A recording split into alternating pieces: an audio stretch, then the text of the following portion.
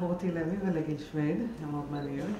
אני רוצה להזמין את ירון ברוק, יושב ראש חבר הנאמנים של מכון איין ראנד העולמי.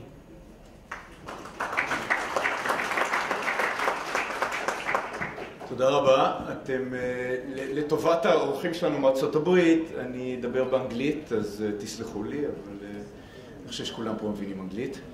Um, thank you, everybody. This is, uh, this is terrific to see. This is our third event. This is the third year we're doing this, uh, giving out the prize for the uh, uh best startup uh, in Israel. It's, it's very exciting for us as the Ayn Rand Institute uh, to be part of this, this event.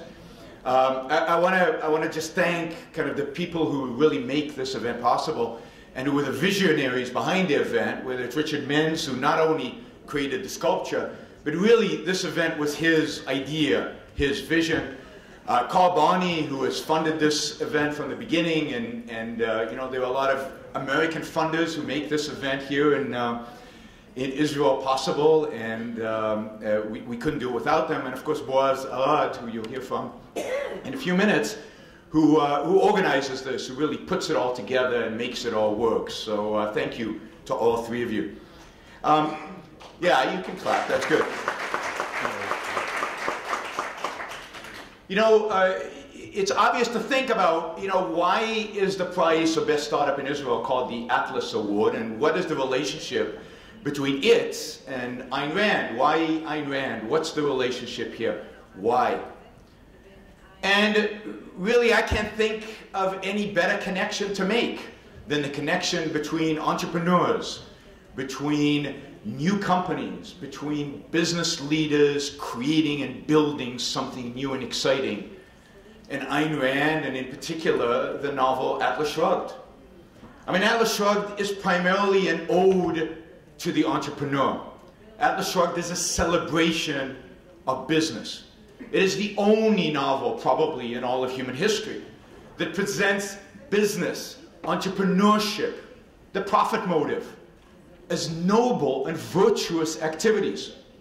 Now, I know that all the startups here are going to be very successful and you're going to make a lot of money.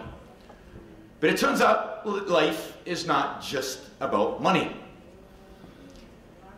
While you will make a lot of money, you also find that we live in a culture that often looks down on people that are being successful. You will often be perceived as being ugh, greedy, self-interested.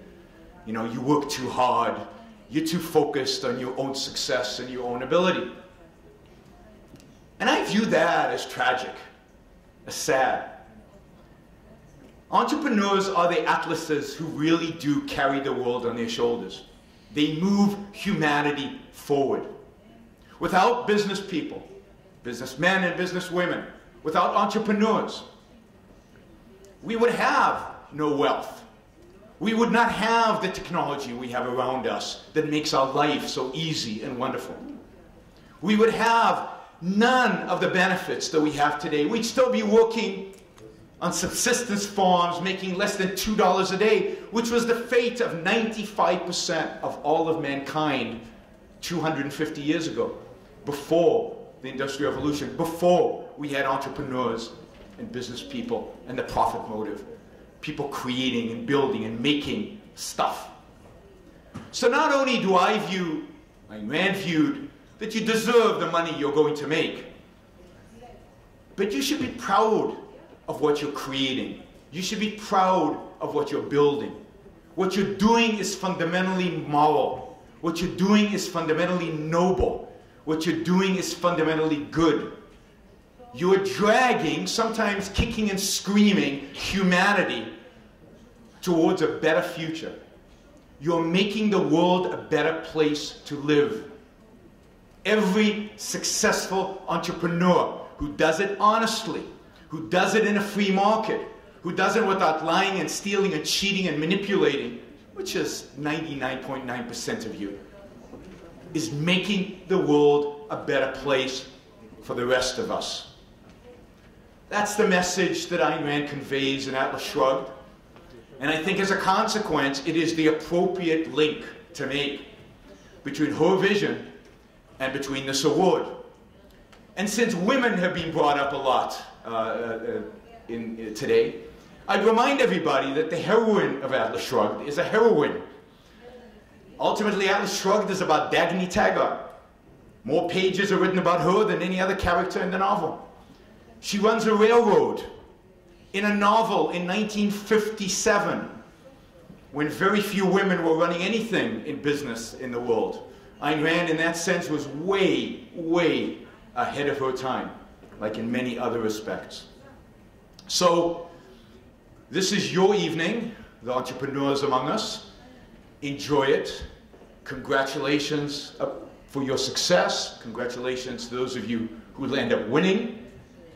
And beyond the pleasure you get out of your job, beyond the monetary value you get out of your startup, know that some of us appreciate what you're doing on behalf of, I think, I hate to talk, uh, I hate to talk for mankind, but on behalf of everybody on the planet, thank you for your hard work because you're making our world better. Thank you all.